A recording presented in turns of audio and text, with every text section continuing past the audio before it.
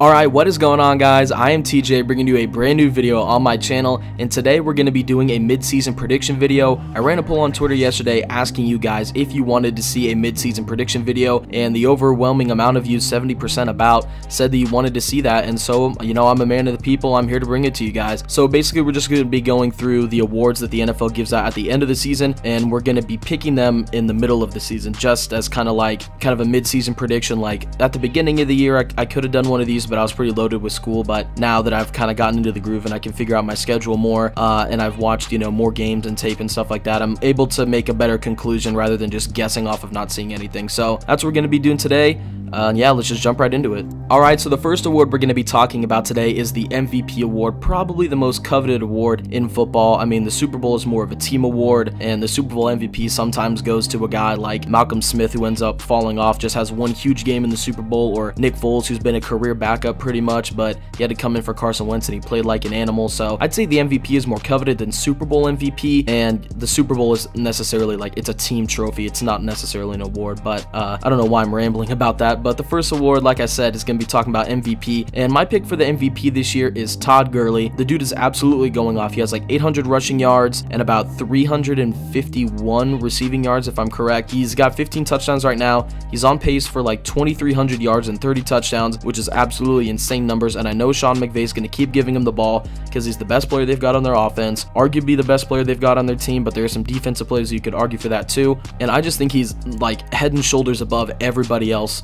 every other running back in term, like just in the NFL. Like he's the best receiving running back, not necessarily in terms of routes, but catching the ball and making moves with it and being able to create his own space, you know, outside of the backfield without running the ball and depending on his offensive lineman. He's also really good at catching screens. He's also just a really good running back in general. If you guys remember, he had that really, really big breakout rookie season. And then two years ago, I think, he like fell off the face of the earth and everybody was like, man, what the heck, Todd Gurley, like he sucks, blah, blah, all that stuff. And then, you know, he's come back and he's been one of the best running backs in the NFL. And I feel like he's like, like I just said, I think he's better than any other running back in the NFL by far. Le'Veon Bell hasn't played this year, so he doesn't count. David Johnson's been pretty rusty, but I feel like that has a lot to do with his offensive line. Alvin Kamara's been really, really good, but he's nowhere near as good as Todd Gurley is. I'd say that Le'Veon Bell and or not Le'Veon Bell, that Alvin Kamara and Kareem Hunt are probably on the same level, but they're like tier two compared. Todd Gurley is like it's like LeBron and KD. Like those are the two top like tier players in the NBA, and then everybody else is a tier below them, and that's what I think it is with Todd Gurley. He's just a tier above everybody else. And another candidate for the MVP that you could consider is the Chiefs quarterback Patrick Mahomes. Dude's on pace for like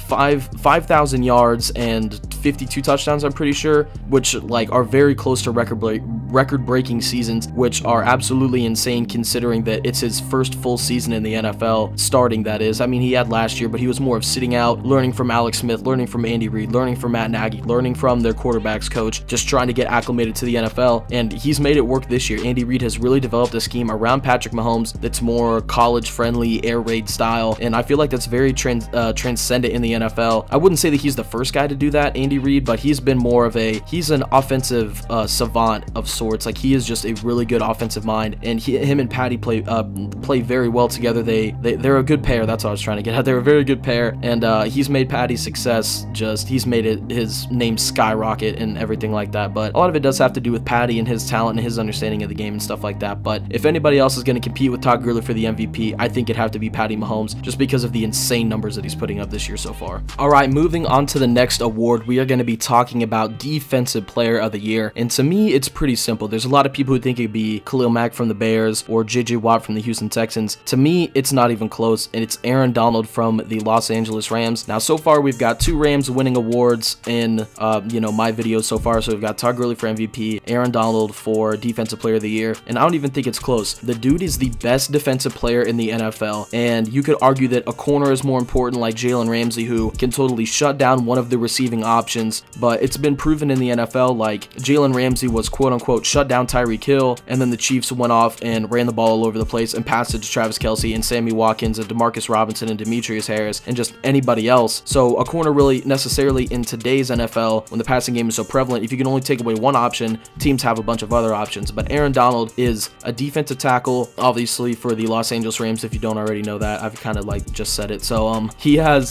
so far on the season, he's got 10 sacks on pace for 20, which may or may not be the most sacks by an interior defensive lineman in NFL NFL history. I'm not off the top of my head. That sounds like, you know, a record breaking number for an interior defensive lineman, but the dude gets, uh, he generates a ton of pressure. He's always in the offensive backfield. He manhandles offensive linemen. He just absolutely makes everybody look like they only bench 125 pounds and he's out here benching like 280 or not 280, like 800 pounds. Like he just makes everybody look like they are weak and in comparison to him that they just don't even match up very well. And he is just an absolute force on the inside of that Rams defensive line. Like they are really, really good. I feel like that is also a reason why he gets a lot of like why he gets a lot of numbers is because there's a lot of things that on that Rams defensive line you have, you have to focus on, like Ndamukong Michael Brockers, um, and now they've got uh, Samson Ubakam, I think that's his name, uh, Samson Ebukam, and they've got now Dante Fowler who's going to be rushing off the edge. So there's a lot to account for on that Rams defensive line, but teams mainly focus on Aaron Donald, and they still can't stop him. And to me, he's just the best defensive player in the NFL. You could make an argument for JJ Watt. Earlier in the season, he was really, really going off. He had like five or six sacks, and now he's kind of fallen off. But Aaron Donald's production has not stopped since the start of the season, and he, to me, is just better than everybody else. The best defender in the NFL by far. All right, so the next award we're going to talk about is the Offensive Player of the Year. And traditionally in the NFL, the same guy that wins MVP isn't the same guy who wins Offensive Player of the Year. Like last year, Tom Brady won MVP, but Todd Gurley won Offensive Player of the Year. And I guess if you're analyzing it like that, then I, I my answers for these awards or predictions are going to be relatively like that. Like the same player isn't going to win MVP and Offensive Player of the Year. Like I think one year Rodgers won MVP and somebody else won Offensive Player of the Year. Like it's just they usually pick different people. So going with that trend, kind of following that, Patty Mahomes is my Offensive Player of the Year. Like I mentioned earlier, the dude is on record-breaking or close to record-breaking pace with like 5,000 yards. And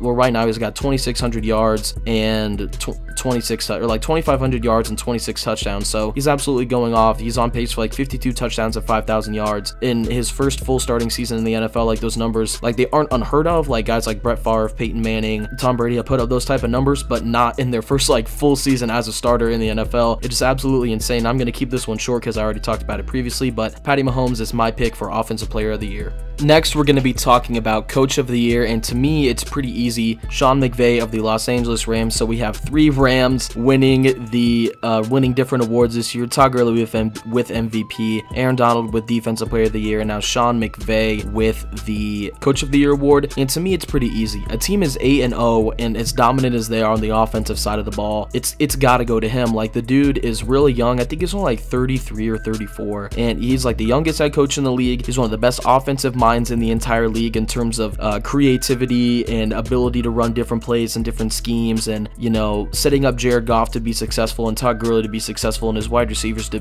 be open and stuff like that. Like, the dude just an absolute mastermind. And you can't, like, I feel like if the Rams are able to keep up this winning, I don't think they'll go 16 0. I don't know if they're that good defensively because, like, they run up against the Chiefs. That's a team that's just as good on offense as they are. I don't know if their defense is going to be able to, uh, you know, stop that type of offense. They had a really hard time stopping Aaron Rodgers. This Sunday, they let up like 23 or 24 points. So uh, their defense is obviously a question mark uh, on the back end, at least in their secondary, but their front seven's really, really good. But I feel like if their team keeps up this winning, there's no way that Sean, Sean McVay isn't recognized as the best coach in the NFL. And to me, I think it's easy to pick him. Andy Reid could also be mentioned in that because his team is really good. Bill Belichick could get it, but he's got, you know, some issues with the NFL. I don't think they'll ever give him coach of the year because all the gates that he's had to go through and stuff like that. So uh, Sean McVay for me is going to be the coach of the year. Now we are going to be moving along to the rookies, and for my pick for the offensive rookie of the year, I have Saquon Barkley, running back for the New York Giants. To me, none of the quarterbacks have performed well enough to earn my vote, I guess I would say, to earn my vote as uh, Offensive Rookie of the Year. To me, it's been Saquon Barkley, and it's not even close. Baker Mayfield's played good as of late, but he hasn't really performed great. Uh, Josh Rosen, the same thing, started out really rocky, but he's kind of turning it around now. Saquon Barkley has been an effective force for that Giants offense since day one. Like, I think, I can't remember how many total yards he had. I, who was that against? Against the Eagles, but he went absolutely off. He had like 239 total yards or something something like that. It was just the dude went absolutely off. He's really embraced the dual threat running back because like there used to be, you know, the title was dual threat quarterback where it didn't used to be. I mean, it is still a title, but the, like the dual threat quarterback title is a quarterback who can throw and can run. And I feel like a dual threat running back is a running back who can act as a wide receiver or just a receiver out of the backfield, an effective one at that, and run the ball in between the tackles. Saquon Barkley is an athletic freak. Like the dude ran a 4-4 flat at the combine. His thighs are absolutely huge. He's got like Earl Campbell legs. He can catch catch, he can jump, he can run people over, he can break tackles. Like the dude just does it all. And to me, it's pretty easy to pick him as the offensive rookie of the year. He's played better than any other rookie, at, at least at a skill position. They're never going to give offensive rookie of the year to like an O lineman or something like that. But to me, he's been the best rookie on the offensive side of the ball by far this year. Now, moving along to the defensive side of the ball for my defensive rookie of the year, I have Darius Leonard, the linebacker for the Indianapolis Colts. Right now, he leads the NFL with 88 tackles, which is on pace for an insane number of tackles that I can't do in my head while talking and recording at the same time. Uh, but I know that that's a lot of tackles. It's leading the NFL as a rookie. That's pretty, pretty impressive. He was a second round pick by them. And to me, I had scouted some linebackers and I didn't really think that there was any there were, if you were going to take a linebacker in the first round last year, there were definitely guys that you could have taken. You could have taken Roquan Smith, Tremaine Edmunds. and I didn't feel like there was a linebacker that was good enough to take in the second round. It would be a reach to take anybody, but apparently the Colts thought, you know, Darius Leonard is our guy. He's got out of, I think it was like South Carolina State or something like that. Like he's got the height, weight, speed that you need for a middle linebacker, speed even more so. And to me, I thought he was a reach. He was a guy that I didn't have necessarily as good of an eye on as I did some other prospects, but I knew about him and I was like, okay, he's probably a day two or early day three guy. Like he's a third to fourth round pick, but the Colts saw a, a better value on him than that. They had a four, uh, second round grade on him and they went out and took him. And to me, I was like, wow, they really reached on Darius Leonard. Like, I don't know how good he's going to be. I don't think he's strong or physical enough to play middle linebacker, but he has proven to me in the Colts that, you know, that pick was definitely worth it. He's leading the NFL in tackles, like I've said like two or three times. Um, and his side and his height and weight and speed combo, all of that, it makes him an even more effective middle linebacker. He's reading uh, plays like pro, like a like a seasoned vet. Like he's out there making reads that I see a lot of veteran middle linebackers struggling with, or that they can't get there because of their speed, like they're not fast enough. But Darius Leonard has the a great mind to play middle linebacker and a great vision and to be able to see, you know, where the play is going and to be able to play rec very, very well. He's got speed to get to the ball, make the play, and make the tackle or force a fumble or get an interception or something like that. And he's got the physicality to make the play, not miss the tackle, wrap up. And to me, he's a complete package. And right now, he is my defensive rookie of the year. The next award on my list is Comeback Player of the Year, and this is a very coveted award. A lot of really, really good players have won it. Peyton Manning won it after coming back from, you know, possibly career-ending neck surgery and then playing with the Broncos and leading them deep into the playoffs and having a really, really good year. Adrian Peterson won it after tearing his ACL and then coming back the next year and rushing like for eight yards short of the NFL record, which was like absolutely insane. There's a lot of players that could qualify, I think, for this. Deshaun Watson is a player that a lot of people have been talking about as comeback player of the year. Aaron Rodgers, even though he did play a good amount of the season last year, or not really a good amount, he played like what, five or six games maybe, and then he came back at the end of the year, played one game and stuff like that. So, I mean, he could qualify for that, but in my opinion, there's only one guy that I would give this award to, and it'd be Andrew Luck. Right now, I mean, in 2017, when he hurt his shoulder, he looked like, I don't know, it looked like that he may never play football again. His return this year looked really, really doubtful. Uh, we didn't know how good he was going to be, and he's come out and he's thrown the second most touchdowns in the NFL this year. He's on pace for 46 touchdowns, and he's on a Colts team that could sneakily make the playoffs, but I don't know if I'd necessarily count on them to make the playoffs. It's a tough division, that AFC South. They've got a lot of good defenses they got to go up against, and Andrew Luck has played very well this season. I feel like he'll be able to keep that up throughout the rest of the year, and he is my comeback player of the year so far. Alright, and now the final prediction that we are going to be talking about in this video today is my Super Bowl prediction. Now, the easy guess, just looking at the records and how the teams have performed right now, the easy prediction for me would be Rams Chiefs, two of the best offenses in the NFL, two of the sketchiest defenses in the NFL. Uh, the Rams, talent-wise and name-wise, have a lot more guys than the Chiefs do, but they're, the defenses are playing very similar, except for, I'd say, the front seven of the Rams has been playing absolutely insane. Michael Brockers, Aaron Donald have been playing really, really well, but I, like being a Chiefs fan, I've witnessed some of the worst playoff collapses in NFL history. Like, we were up on the Colts by like, we were up like 35 to 14 going into the like, like second half, like third quarter, something like that, and we end up losing that game, and it was like one of the biggest collapses in postseason history. Two touchdowns for Brown, and they give it to him again, and he's, oh, he fumbles the ball, and Luck is there to pick it up and go over the goal line.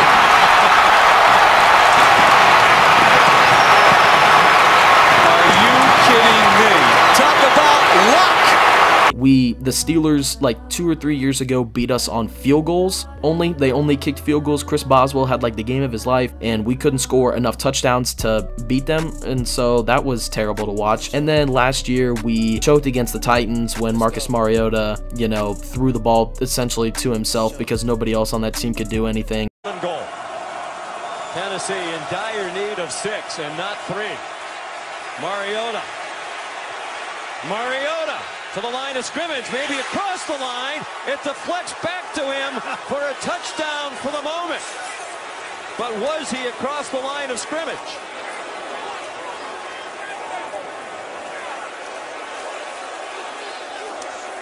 I believe that's a touchdown. And then, you know, they juiced the clock with Derrick Henry at the end of the game. So I don't necessarily, I, I, mean, I trust the Chiefs this year. They've they've built up a lot of trust in me, but I am prepared to have that absolutely crushed come postseason time. Uh, but this year may be a little different. I have a little more faith in the guys this year and the way that the NFL has shaped out in terms of rules and stuff like that and how the game is being played now. I have more faith than I did last year, especially with who is captaining our offense now in Patrick Mahomes. The Patriots would be a very popular pick as well, and I feel like that may be the more realistic and the more the safer pick because they are a very good postseason team. Nobody really touches them in the postseason, uh, at least in the AFC. You know, some years the Broncos get there, like a couple years ago the Ravens did it, but as of lately, it's it's pretty much been the Patriots run the AFC. Uh, and this year, I think it, I you know, Brady's aging, he's getting up there in age, 41 years old. You know, their defense is really really shaky. It always has. It's it's never been a defense that scores a ton of points like the Jacksonville defense did last year. It's always been a defense that bends but doesn't break. It's never been an explosive playmaking defense. It's always been just a solid defense. But, but this year looks a little different. This year they've got like three or four good players. They've got like Stephon Gilmore, Trey Flowers, Malcolm Brown on the inside, and then that's kind of it, to be honest. They've got some good safety help, but those guys are old. Their corners aren't necessarily the best. Their linebackers are really, really shaky outside of Dont'a Hightower. So I don't know how much I trust the Patriots either, but with all that being said, I'm going to go with the Chiefs and the Rams in the Super Bowl. I don't know who I'd pick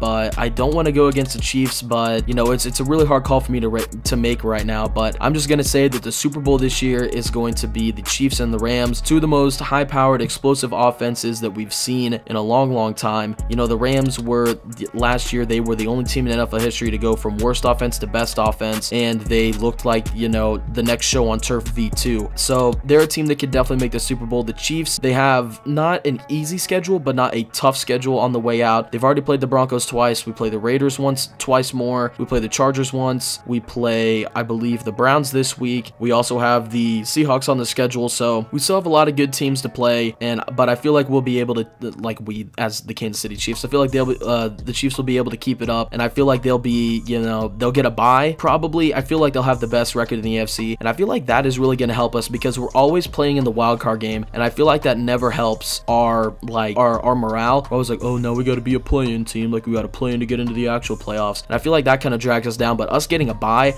I feel like we'll be well rested. We'll have enough energy and enough uh, momentum to go into that game. Whoever we play, whether that be like Pittsburgh, Jacksonville, Houston, could be anybody. So that's my pick for the Super Bowl. It's going to be the Rams versus the Chiefs.